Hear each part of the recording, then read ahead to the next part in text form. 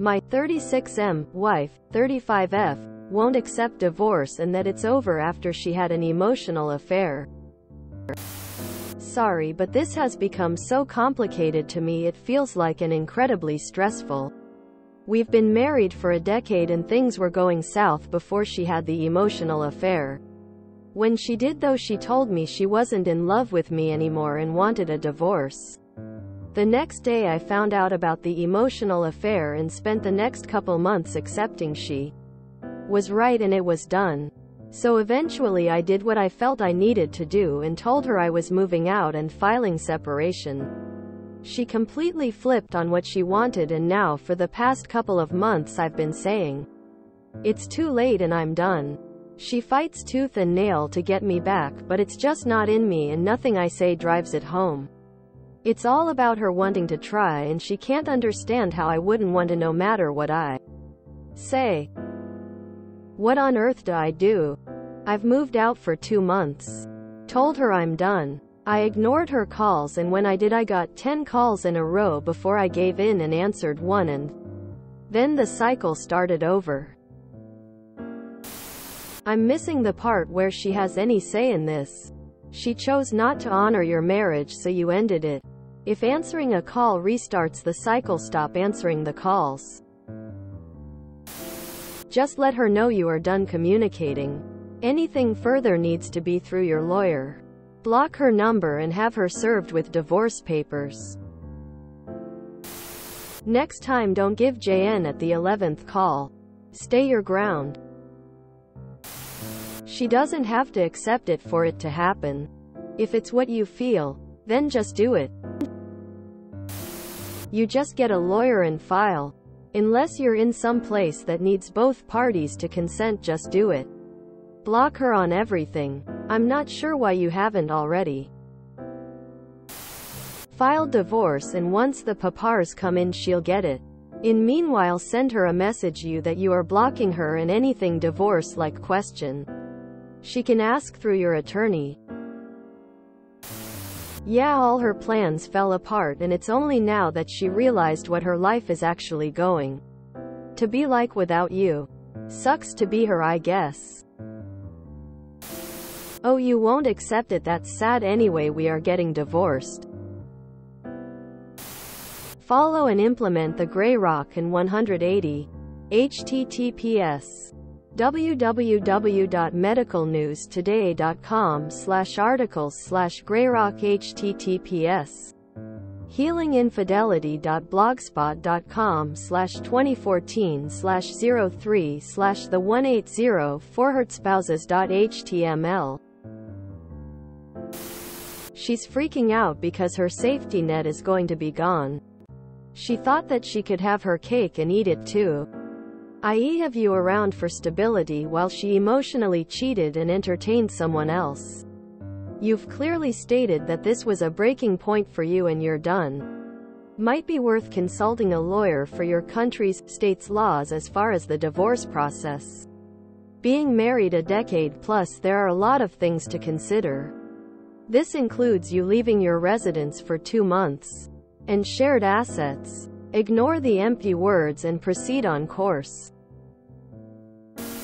Have you been to a lawyer and served her divorce papers? That's the next move. Remember any words that come from her mouth are lies. She probably had plans with her AP that fell through and she wants her plan B back. It's obvious she will flip. When she put her energy elsewhere. Everything she had was bad. We've been married for a decade and things were going south before she had the emotional affair. Then she did that thinking it's her way out and she thought so. But it didn't work out and now she wants what she had the trusted companion and the comfort. Sad part is it happens a lot. Now. Unless there is a chance to make things honeymoon phase which is the only way and both of you are in it. This will not work especially if there is no turnaround to your state of affairs. Like these folks say, her say doesn't matter. Be prepared for financial loss. Don't engage in conversation. Just get your attorney and file the papers. I believe there are even apps now where you can discuss the terms. And it's all recorded so everything can be submitted with your case. That way they can't make up fake texts or claim you said things you didn't say. My guess is whoever she was having the affair with didn't work out.